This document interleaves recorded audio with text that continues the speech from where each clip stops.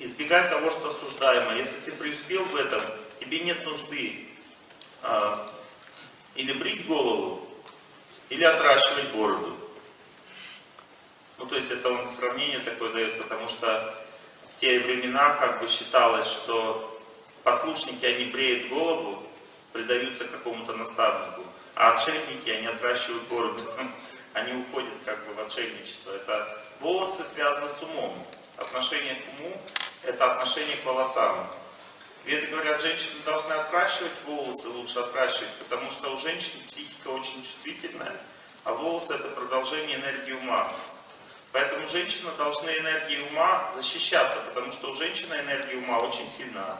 Она волосами защищает свою психику. А мужчина должен делать волосы короткими, потому что у него энергия ума слабая, энергия разума сильнее. И он как бы волосы уменьшает, чтобы ум не мешал. А женщина увеличивает, чтобы защищаться настроением своим. Свое настроение, оно как бы, женщина защищает, защищена своим настроением. И легче так жить. Но бывает, мужчина отращивает волосы. Зачем? Они становятся отшельниками. Они не зависят ни от кого в жизни. Они зависят только от своего знания. Бывает, что человек вообще постригается на лысо и предается чему-то. То есть он уже своих мыслей и идей вообще не имеет. Означает, что он послушник. Послушники бреются на лысо. Монахи. Ну и так далее, как бы я объясняю вот эти правила, которые помогают просто. Это внешние, конечно, вещи. Но здесь говорится об этом тоже. Если ты избегаешь того, что осуждаемо, даже ты не знаешь, почему это так, зачем это надо. Нет знания полного. Даже, допустим, я вам сейчас это все объяснил, у вас полное знание есть? Нет. Есть два варианта это знание полное получить. Или в молитве тебе оно приходит в сердце, ты знаешь точно, что нельзя изменять. У тебя точно есть это понимание. Второй вариант. Изменить и посмотреть, как будет строиться твоя жизнь. Как, как ты потеряешь отношения глубокие с детьми, с женой, у тебя появится другая семья и так далее. На практике жизни можно это понять. А эта практика жизни, это суровая штука. Когда мне приходится видеть, как люди курили всю жизнь, и потом болеют раком легких. Практика жизни. Кому практика такая нужна?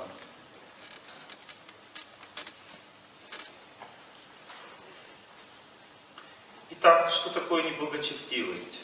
Это означает просто незнание, как жить. Люди просто не знают. Из этого незнания или незнание это в форме привычки идет. Человеку нравится вот так жить плохо, и он ничего не хочет слушать. Или это незнание идет в форме просто недостаточного понимания того, как правильно. Потому что если человек понимает, он может победить привычку со временем. Не сразу, но со временем. Иногда человек знает, что так не надо, но делает. Ничего страшного. Если ему будет хуже, он поймет зачем. И он начнет делать как надо потом от боли, из боли. Иногда человек из счастья делает, а иногда из боли как надо. Но и то, и другое хорошо. Но большинство людей мучаются в этом мире, потому что они вообще не знают, зачем нужна эта жизнь. Это называется полуживотное существование, ведами говорит. Полуживотное существование. Что это значит? Жить для квартиры, для зарплаты, для машины. Копить что-то. Ну хорошо, это хорошо копить, но это не главное.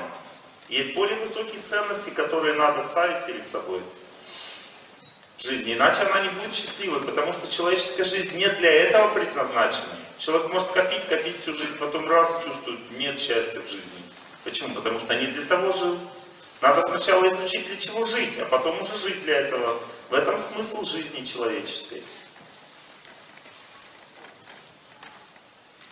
Вот смотрите, наших детей в школах чему учат? Математике, физике, химии, биологии, вычитать, умножать и так далее. Малышей не обижать учат? Нет. Нет. Малышей не обижать не учат. Нравственности не учат в школе. В школе учатся механическим вещам. И дети становятся механическими. Вы спрашиваете, почему мой ребенок постоянно за компьютером сидит? Он не хочет разговаривать. А кто его учил разговаривать? Его учили за компьютером сидеть, вот он сидит за компьютером. Его учили считать, умножать, вот он сидит, умножает, считает.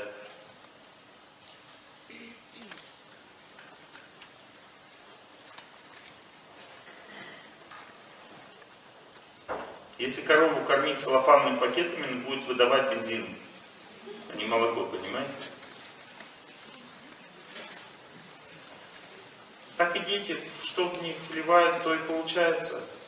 Значит, надо самим прилагать какие-то, мы же школьную систему это все не изменим, но мы должны сами прилагать семье, внутри себя усилия. Начинать надо с себя, прилагать усилия, чтобы поменять свою судьбу.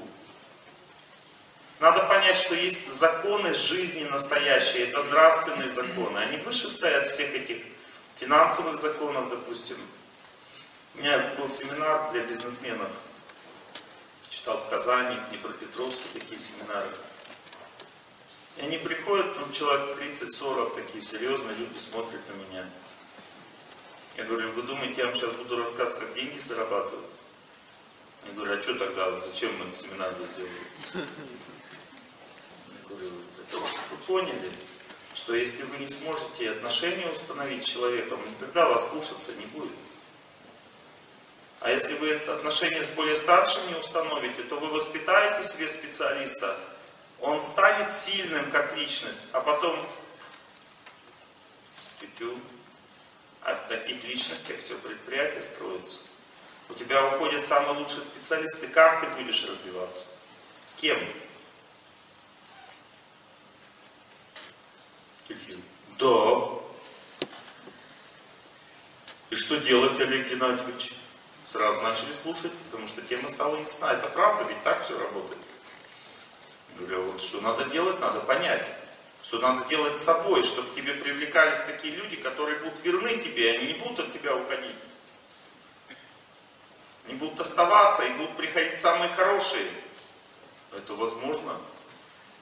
Да, вот в этом заключается развитие лидера в обществе. В чем заключается развитие? Суворов был лидер или нет? Почему он победил турков?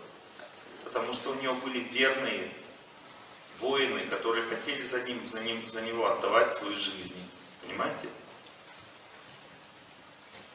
Лидер должен быть таким сильным, чтобы у него были люди верные, чтобы они шли за ним. Но у нас нет идеи сейчас, Зачем мы работаем? Зачем мы бизнес строим? Идеи, деньги зарабатывать от идеи, это самое примитивное, что может быть. В этом нет никакой идеи, это все просто поверхностно. Если ты хочешь настоящий коллектив создать, развивай в нем более высокие ценности, и тогда останутся рядом с тобой те люди, которые имеют эти ценности в своем сердце. Это значит, что коллектив станет сильным. Видите, я привел просто один какой-то пример в жизни. Пусть даже изучение, что такое бизнес, лидерство. Оно все это основано на, на нравственности, на внутренней чистоте человека. Она может проявляться по-разному в жизни, но она всегда является основой счастливой жизни. Выше нравственности стоит духовность. Духовность означает вечность, вечное отношение. Можно установить с мужем вечное отношение? Можно. Они означают духовная жизнь вместе в семье. Мы вместе верим в святого какого-то. Это уже вечное отношение. Те отношения, которые останутся потом после смерти тела. Душа не умирает. Если люди строят отношения со святостью, вверх идут по жизни вверх по жизни означает, что они устанавливают более высокие отношения. Как вверх по жизни идти? Устанавливать с людьми более высокие отношения друг с другом. Возвышенное отношение. Вот я, допустим, Станислав вот водичку принес. Я устанавливаю с ним возвышенные отношения. У нас нет с ним меркантильных отношений. И у меня нет ни одного человека сейчас близких, с которыми я устанавливал эти меркантильные отношения. Я со всеми пытаюсь устанавливать только возвышенные отношения, означает вечные. Это значит, что люди не расстаются. Потому что возвышенное нетленно, духовное нетленно, любовь настоящая нетленна. Вы спрашиваете, а можно с мужем навсегда остаться? В следующей жизни можно я буду с этим человеком жить? Можно? Установите возвышенные отношения, будете жить в следующей жизни с ним. Это факт. Но никто не хочет устанавливать возвышенных отношений. Никто не хочет верить в человека. Как в человека верить? Человек же, человек же не принадлежит себе, он может сделать то, что он не хочет делать. Так действует карма. С этой точки зрения в человека верить бессмысленно.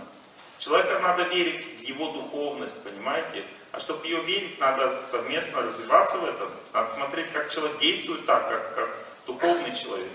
Или хотя бы верить в это просто в своем сердце, думая о нем как о духовном человеке, надеясь, что он когда-нибудь будет так развиваться. По телевизору это не показывают. После работы, когда мы смотрим хоккей, мы этим не занимаемся. Это значит, что развивать себе правильные отношения – это менять свою жизнь. Менять свою жизнь.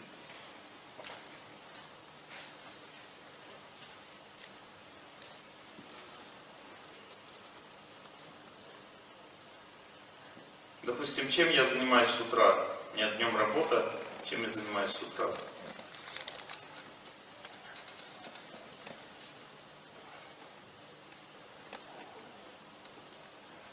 Я слушаю, как читают ведические произведения, произносят ведическое знание, надо через звук получать.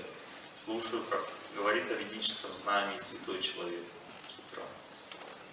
Моя жена в это время она сосредоточенно включает духовную музыку и сосредоточенно готовит пищу. Потому что она знает, что это и есть отношение. То есть пища это отношение ко мне. Если ты считаешь, что ты любишь мужа, должна вложить эту любовь свою деятельность. Она слушает святого человека и с верой в него готовит пищу. Пища становится необыкновенно вкусной в результате. Почему? Потому что она приготовлена правильном настрое. Потом я кушаю эту пищу, она благословляет меня, говорит, пусть у тебя на работе все будет хорошо, Бог будет помогать тебе, защищать тебя. Потом я иду на работу. Простая жизнь, как у всех. Так? Кто-то молчит.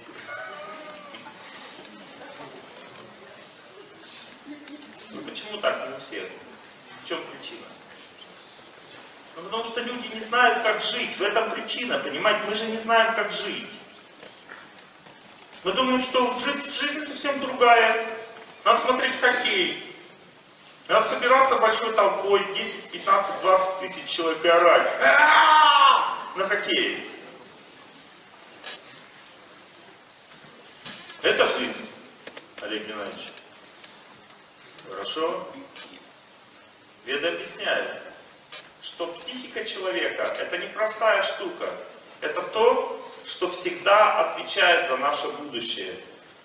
Нашу психику называют веды телом желаний. То есть, что такое психика по-другому? Это тело желаний. Если ты хочешь всю жизнь посвятить тому, чтобы орать, когда играют в хоккей, значит ты получишь соответствующее тело, которое для этого больше подходит.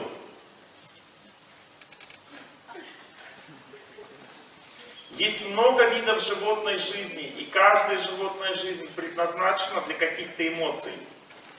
Животная жизнь направлена на одну эмоцию только. Вот, допустим, если ты хочешь, допустим, наслаждаться комфортом, так вот, вот так вот, то получаешь тело свиньи, там только одна эмоция.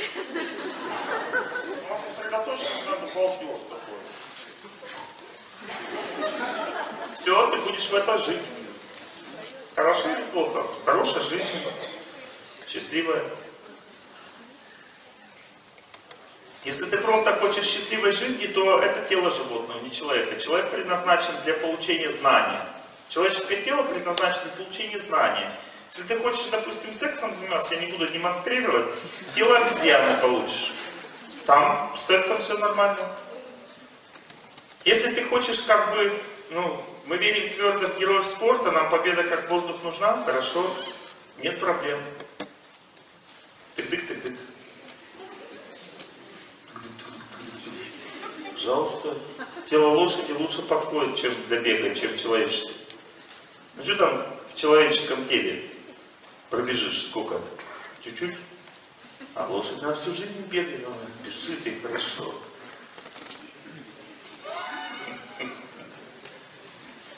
Или, допустим, полетать захотел, пожалуйста. Тело орла. Все предусмотрено, понимаете? Я не шучу с вами. Я даже вижу в людях, куда его несет. На кого работаем, товарищи? Куда понесло? Вид видно в человеке, что как бы, ну,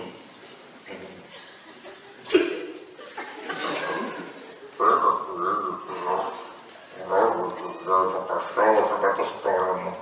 Хорошо, дальше, что будет еще несколько лет, и ты уже получишь это тело кабана.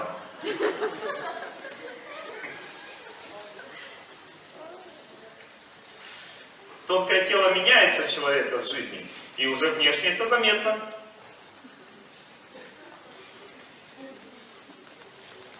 Выставка собак, выставка собак. Нет, это выставка хозяева собак. И там Леонкин поет, и там клипы идут соответствующие. Там. И тут как бы хозяин, собака, похожи. Опасно. Опасно так жить. Если мы знаем, мы уже люди, у нас есть разум, мы должны понять, что на этой жизни все не заканчивается, мы не изучаем это все. Ко мне в Днепропетровске подошел один молодой человек, удивительный человек, очень наблюдательный. Он начал изучать мои лекции, он жил, жил в частном доме, давно его уже не видел. Тогда он, я жил у него в доме в этом, гостил, когда лекции читал. Мне показал две собачки, я увидел то, что он мне показал, у меня волосы дыбом стали так. Мне стало очень странно, но это была правда. Потому что у него жили, отец с матерью ругались постоянно. Они очень сильно привязаны были к этому дому. Они считали это самым главным в своей жизни, этот дом. И родились рядом с этим домом щенками в следующей жизни. Потому что человеческого тела они были недостойны. Как он это узнал? Через некоторое время, когда они оставили тело родителей, к дому прибились два щенка и прямо вот лезли в этот дом. Два щенка маленьких от разных родителей. Один начал вести себя самка, как отец. Те же самые блюда кушаем. Повадки такие же, внешность похожа. Другая самец, это на маму похожа была. Был в шоке начал кормить этих собачек. И они начали гавкать друг на друга, как и раньше. Все то же самое. Вторая серия. Но уже в соответствующих для этого телах. Потому что человеческое тело не предназначено для того, чтобы гавкать друг на друга, понимаете? Человеческое тело предназначено для того, чтобы строить друг с другом божественные отношения. Несмотря на то, что карма душит. Если твоя жена тебя душит, это твоя карма тебя душит через нее. Не думай, что это жена душит. Она божественное существо, которое ты не видишь. Ты видишь в ней только что удовлетворение объекта, удовлетворение своих желаний, хочешь наслаждаться ей. А так как она тебе не дает наслаждаться, поэтому она плохая. Вот и все. Вот и два восприятия человека близкого мы видим. Из-за чего? Из-за того, что мы хотим наслаждаться друг другом, а не служить друг другу. Это желание служить всем вокруг, оно не приходит просто так в сердце. Его надо получить от святого человека, чистого человека, который так живет. Смотрите, есть много святых людей вокруг. Сергей Равнович, Серафим Саровский, только там, мы знаем, допустим, у нас здесь православная культура развивалась. Много православных людей мы видим, святых. Матрона святая там, и так далее. Вот на кого надо медитировать думать о ком. Медитировать такое слово ведическое. Думать о ком надо, верить в кого надо, жить для кого надо. Эти люди должны, изображение этих людей дома висеть. Надо жизнь свою рядом с ними поставить. И тогда она станет чистой, как слеза жизни. Означает, близкий человек ругается, а ты не так близко к сердцу принимаешь, потому что у тебя есть более ценное уже в жизни. Не то, что ты вот как бы, ты считаешь отношения вот эти вот с близким человеком самым ценным, но это все глупость. Потому что вот эти внешние отношения, это просто механика. Сегодня хорошо в отношениях, завтра ругаемся. Нельзя это предусмотреть. У меня тоже с женой иногда ругань наступает. Это просто механика. Знаете, море иногда становится бушевать начинает, бушующим становится. Но если люди это понимают, то они не придают значения. На следующий день они уже извинились, и все хорошо опять в отношениях. Буря закончилась, штиль. Понимаете? Если люди знают, как жить правильно, не придают этим бурям значения. А, ты на меня ругался вчера. Ну, ругался не только вчера. Много раз ругался. И не в этом теле даже, в прошлом теле вообще гавкал. Что теперь делать? Мы не можем все вспомнить, что мы там делали, вытворяли вчера. Но сегодня мы должны простить друг другу и жить счастливо. Следующая тема – правдивость. Вот эта вот тема неблагочестивости, я в целом рассказал. Что такое неблагочестивость? Неправильное представление о человеке, о жизни является неблагочестивостью. Если мы представляем человека как его поступки, вот он так вот себя вел так, это означает внешнее представление о личности. Вечных отношений не будет. Счастья не будет от таких отношений. Не надо придавать большого значения тому, что человек вытворяет рядом с нами. Надо через отношения со святыми людьми устанавливать более глубокие отношения друг с другом через молитву, направленную на святого человека и желание отдавать плоды этой молитвы тому человеку, который находится рядом с тобой. Вам некуда сесть? Нет, нет, зачем наоборот? Сейчас мы организуем вам где сидеть.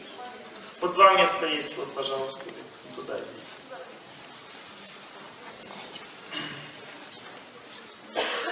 Какие-то вопросы у вас есть по этой теме? Пожалуйста. Открываем сердце, беседуем. Может, вы возражать хотите мне, может, я не договорил, да?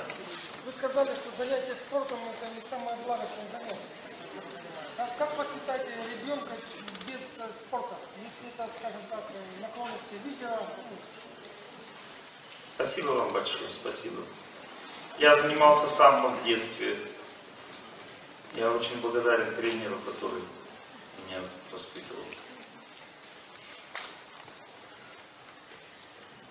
Давайте я вам сейчас расскажу пять стадий развития личности, сознания человека, пять стадий. Первая стадия, это эти стадии, они сами, сами самопроизвольно происходят в человеке по мере его развития, самопроизвольно. Первая стадия э, называется, ну, санскритский термин не обязательно запоминать, Анна Майя.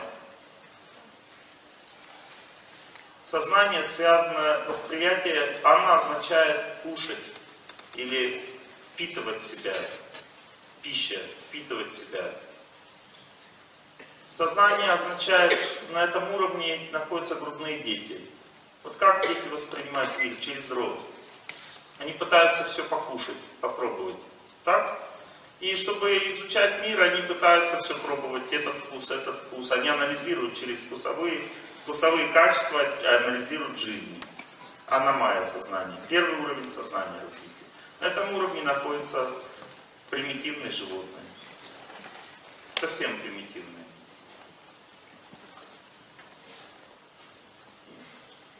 какие? Улитки всякие, ну то есть насекомые фактически. Кушают, кушают постоянно, больше ничего не делают. Мало движения, мало чего-то еще, просто еда. Кушают и кушают. И маленькие грудные дети. Дальше следующий уровень развития сознания называется прана майя. Прана означает движение, жизнь движения. И человек чувствует, что самое главное в жизни это движение.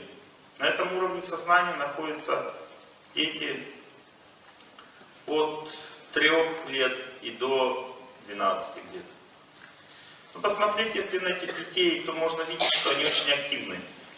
Им надо все изучать, бежать куда-то смотреть, их не остановишь, то есть они очень быстрые. Ребенок может вот так вот вращаться, родитель даже не успевает, что происходит с него. Сегодня одно, завтра другое, он постоянно что-то бегает туда-сюда, что-то делает, то есть ему надо двигаться. Поэтому детям нужно развитие, физическое развитие таким детям нужно. Физическое развитие очень важно. Когда человек получает правильное отношение к пище в грудном возрасте, он всю жизнь правильно кушает. Правильно кушает означает остается здоровым. Дальше, когда ребенок получает развитие вот это вот в движении, на следующем этапе, он всю жизнь поддерживает свое здоровье тоже нормальным с помощью движения. Допустим, я каждый день занимаюсь йогой, там, каким-то гимнастикой какой-то каждый день занимаюсь. Почему? Потому что я в детстве тренировался много, занимался самбо там и так далее.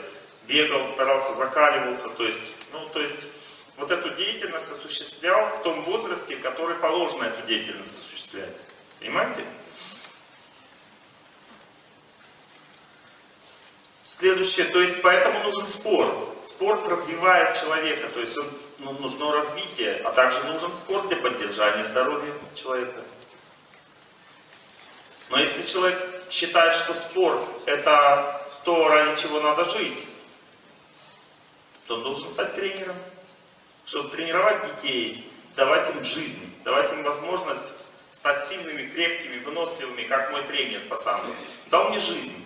Он дал, э, через этот спорт он научил меня быть честным по отношению к людям, быть справедливым, научил меня побеждать. Это важно человеку научиться побеждать мужчине особенно, понимаете, в жизни. Научил меня стремиться к победе, то есть и так далее, очень много чего как бы он научил меня. Я очень благодарен ему за это. Потом, когда сознание чуть развилось, мне недостаточно было просто двигаться. Мне хотелось двигаться, но недостаточно было двигаться. Следующий уровень сознания называется мана-майя. Мана означает деятельность ума. Означает искусство, поэзия, художественное искусство. То есть любая поэзия, любое творчество, творческая деятельность, деятельность ума стихии и так далее. Более высокий уровень сознания. Унылая пора, очей очарования. Смотрите, какое удивительное описание природы. Невозможно сочетать такие краски. Приятно мне твоя, приятно мне твоя прощальная краса. Ну, то есть сочетание прощальная краса. Люблю я пышные, пышные, природа увядания. Понимаете, то есть это такое сочетание может быть только у необычной личности в сознании быть. Это божественный дар. Невозможно простому человеку такие сочетания увидеть, понимаете? И описать это все. Это необычная личность. Нельзя сказать, что он примитивный человек, Пушкин. Нельзя так сказать. Он дал человечеству уникальные вещи. Но не самое главное. Нельзя сравнивать Сергея Радонежского и Пушкина. Потому что Сергей Радонежский дал высшее знание, а Пушкин дал то знание, которое нам нужно для счастливой жизни. Это факт, но оно не является высшим. Потом дальше, повзрослее, начал заниматься бальными танцами. Это искусство. Как бы я танцевал, познавал жизнь в танце. Искусство и плюс движение тоже. Потом мне недостаточно было этого. Начал заниматься йогой. Тоже погружение сознания больше внутрь себя изучение. Следующий уровень сознания называется Вигьяна Майя. Означает развитие разума. Деятельность не на платформе ума, а развитие себя как личности означает соблюдение режима дня, победа над вредными привычками, означает изучение, что такое праведная жизнь, что такое вера. Мы развиваем разум на лекциях. У нас для этого предназначена наша как бы, беседа. Но если человеку нравится, допустим, движение всю жизнь, это не является грехом. Но вот если он говорит, что движение это самое главное, и выше футбола ничего нет, тогда это грех. И люди, которые так считают, они будут рождаться в телах животных. Люди, которые воспитывают детей сильными, крепкими, и дают людям, простым людям, которые, допустим, не хватает движения в жизни, дают возможность быть здоровыми за счет движения. Это благородная деятельность, не является грехом. У человека есть природа быть тренером, допустим, в движении развивать людей. У меня есть один друг, он йогой занимается. И он делает людей очень талантливыми. То есть через йогу можно много чего узнать, через движение много, много узнать, что про себя, про свою жизнь, про свою судьбу. Очень много что можно узнать. Не является эта деятельность такой низшего порядка. Но если ты считаешь, что спорт главное в жизни, все остальное ерунда, это означает, что ты грешник. Человек недоразвитый. Остался на уровне прана майя на этом сознании. Все, нет дальше развития. Если ты считаешь, что поэзия стоит выше духовности, ты тоже недоразвитый. Если ты считаешь, что развитие разума это самая высшая часть деятельности человека, ты тоже недоразвитый. Потому что я вам не сказал еще пятую стадию развития. Называется ананда майя. Ананда означает высшее счастье. Это означает духовная платформа, когда человек чувствует себя как вечность, как душу. Он чувствует чистые отношения с людьми. Вот как воспринимает такой человек на такой платформе людей? Допустим, сидит зал, и он видит во всех людях самое лучшее. Я не нахожусь на таком уровне сознания. Я хотел бы находиться. Самое лучшее во всех. Все остальное не имеет слишком большого значения. Если человек там делает глупости, не имеет значения. В нем есть самое лучшее, самое светлое. Именно такие отношения человек устанавливает с другими людьми. Это означает, что он дает самое лучшее понимание, как надо жить. Нет выше никакого понимания. Потому что это понимание дает вечность. Самое чистое и светлое – это то, что нас сопровождает всегда в жизни. Это с нами всегда существует, мы не умираем в этом. Допустим, смотрите, близкий человек оставил тело. Что осталось? Что осталось от него? Какая память? Того, что мы ругались, бегали друг за другом, сковородками дрались друг с другом. Это память или что остается? Душевная память остается. Хороший человек рядом со мной жил. Было много плохого, тяжелого, но это хороший человек. Я знаю, что это хороший человек. Так или нет? Это значит, что между людьми были отношения. Или он ушел, он говорит, ну ладно, ушел, ушел. Без него легче. Так в сердце человек думает. Значит, не было никаких отношений. Пустая жизнь, пустая потраченная жизнь в отношениях с этим человеком. Ты ничего не узнал о нем. Это значит зря потраченное время. Так поэтому человек должен заниматься тем, что больше всего даст результата. Поэтому и надо садиться рано утром и молиться святому человеку, чтобы понять лучше, чище относиться к тому, кто находится рядом с тобой. В этом заключается настоящая жизнь счастливая. А все остальное это бред. Некоторые люди хотят наладить отношения друг с другом словами.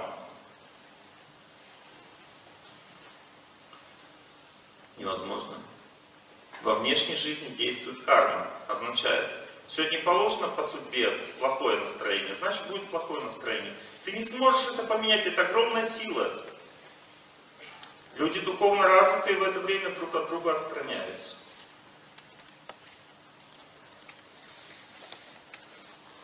Как лебеди, которые любят друг друга. Иногда они плавают, плавают рядом, но когда шторм, они могут сесть и тихонько сидеть. Каждый по своей, по своей стороне, своей стороне.